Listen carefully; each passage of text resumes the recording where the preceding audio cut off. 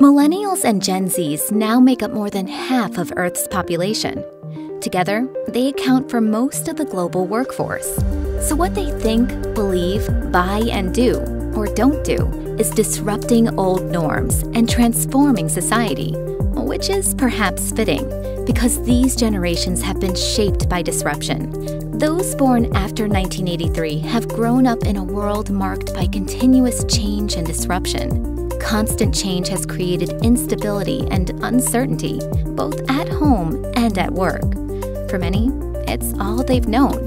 During the past eight years, Deloitte's Global Millennial Survey has helped leaders learn more about this generation's behaviors and beliefs, about what makes them tick.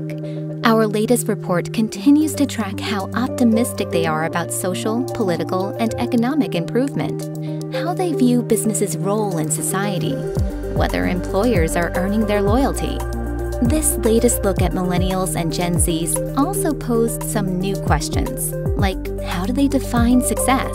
What do they really think about social media? What appeals to them and repels them as consumers? Whom do they trust? Whom don't they trust?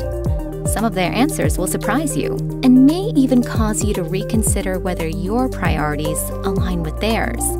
Because if you want to succeed, it helps to be on the same page as the largest group of people on the planet.